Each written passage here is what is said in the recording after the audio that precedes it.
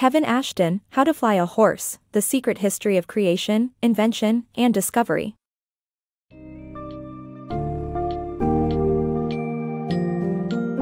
In the book, How to Fly a Horse, Kevin Ashton debunks the myth that creativity solely comes from a rare spark of genius. Instead, he explores the truth that creation is a result of careful thinking and problem solving. Ashton uses examples from history, science, and technology to demonstrate how no creation is entirely new, but rather builds on the work of countless predecessors. Along the way, he stresses the importance of hard work, resilience, and collaboration for achieving creativity. This summary will guide you through key themes of the book, encouraging you to reevaluate your beliefs and understanding about creativity and innovation.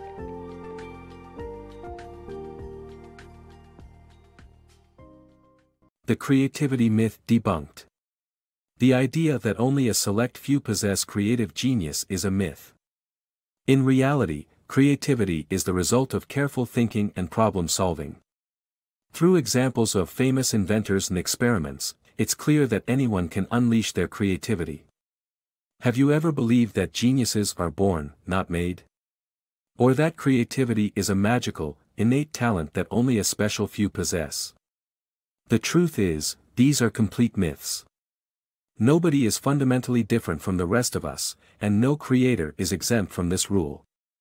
The creativity myth preaches that only a small and gifted few are chosen for creative greatness and that their success relies on flashes of magical genius insight.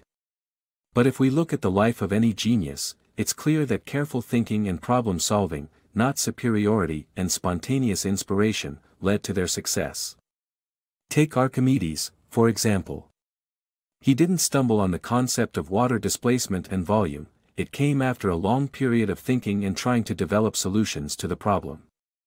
Creativity itself is merely the act of thinking about how to solve a problem, something that all humans possess with varying degrees of intensity. This has been demonstrated in countless experiments, like the box experiment. What Duncker found is that the processes of arriving at solutions were the same for each person who attempted the experiment. In conclusion, it's time to debunk the myth of creativity by acknowledging that anyone can unleash their creativity through careful thinking and problem solving. Building innovations. Innovation is not born out of moments of genius nor the work of a single individual. It depends on the contributions of thousands of people and generations that came before. Innovations are built on the work of countless thinkers from the past, as demonstrated by the story of Edmond, a 12-year-old black slave who discovered how to make the vanilla pod self-pollinate. Every new creation brings forth fresh opportunities for future innovations but presents new, unforeseen problems that need to be solved creatively.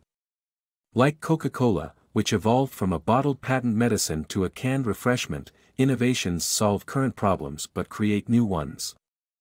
Building upon innovations is an ongoing process that not only brings many benefits but also inspires us to develop new solutions for the problems of tomorrow. Steve Jobs' creative process. The creation of the iPhone was not an overnight success but a result of baby steps, problem solving, and asking questions. Steve Jobs' creative process involved carefully considering theoretical steps and narrowing down solutions as he solved problems. However, inattentional blindness can hamper creativity, preventing us from seeing every possibility. To think like Jobs, we must open our minds and see everything, not just what we expect to see. The role of hard work and resilience in creating something great. Creating something great requires effort, commitment, and resilience in the face of failure. Despite the belief in waiting for inspiration to strike, success is only achieved through hard work. Igor Stravinsky's ritual of playing a Bach fugue before working is an example of maintaining focus and staying on track. However, creating something great is not without failure, and being able to withstand those failures is crucial. Stephen King regularly discards 300 pages in his pursuit of producing a good book. Failure is inevitable, but it provides valuable lessons that help you grow and improve. Accepting rejection is also important, as it shows you where to go and what to change for your next attempt. The tale of Franz Reichelt, who jumped from the Eiffel Tower with a flawed parachute despite warnings, highlights the dangers of ignoring expert advice. Ultimately, success is only achieved through hard work, commitment, resilience, and the ability to learn from failure. The power of small creative teams. Creative work is best accomplished in small, motivated teams where creative conversation is encouraged. The primary focus of such a team is to identify and solve creative problems as a group while establishing individual goals. The creators of South Park use this method successfully by identifying and solving problems together before dividing individual tasks. Unfortunately, many companies stifle creative thinking, but there are organizations that encourage it by using a process called Show Me, allowing individuals to share and test new ideas. Clarence Kelly Johnson at Lockheed used this process to create America's first jet fighter by solving a design flaw with a twin tail. Working in small creative teams can lead to effective problem solving and the production of high-quality work within a short time frame.